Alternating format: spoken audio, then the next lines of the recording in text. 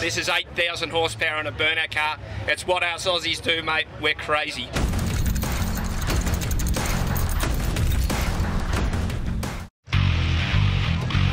Somebody told me to look for a top fuel burnout car. I think I found it. You found it, baby. what you the hell found is this? This is a, uh, a uh, top fuel engine from the Darren Morgan stables here in Australia. He's the four-time Australian champion.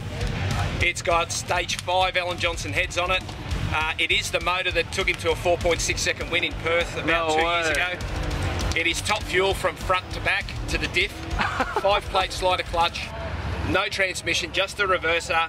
It's 88% nitro. It is jacked up, and we're here to put on a show. We're Damn, not that's serious around. business. This is 8,000 horsepower in a burnout car. It's what our Aussies do, mate. We're crazy. 8,000 horsepower? 8,000 horsepower. I suppose that could do a burnout. That'll do a burnout. We've got an 86 litre tank which won't even do two and a half minutes.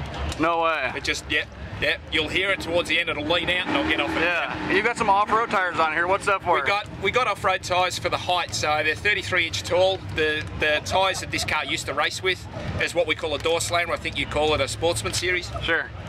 Uh, they're 36 inch, so we couldn't go too too small, and they're readily available. So um, yeah, So you won't pop quite- these because they're real thick, right? No, they, we won't pop them, and uh, we'll run out of fuel before we run out of tyres. Gotcha, you It's gotta save the body, right? And it gets pretty hot. You know, two and a half minutes yeah. on a fuel car is pretty Oh hot. man. So you run for about two minutes? They're two and a half. Yeah. Holy Yeah. cow. We're doing things. They say you can't pedal a nitro car. Yeah. You can't underload, but we're, we're, we're trying not to.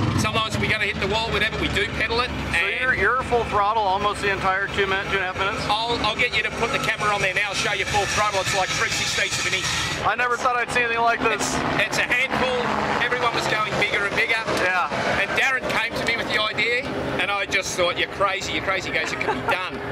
And I trusted him, and the thing's beautiful.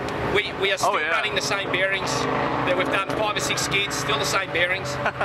we've broken one valve spring, uh, and we do pedal it, and it's been a real, real pleasure at the moment. We might kick the rods out now, but at the moment it's been real good. Yeah. Great, yeah. We want to come over and put on a show with you guys.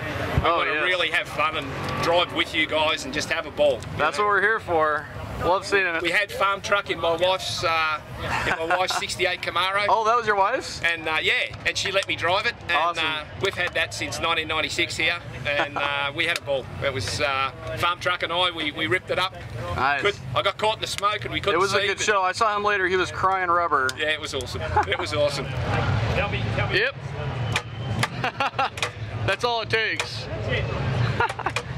How much power is it about when you have it there, you think? Look, it's it's capable of 8,000. Give me the traction, I'll give you more power. Yeah, of course. That, There's that's no what point. it takes to keep it up, keep the rods coming out of it. Yeah.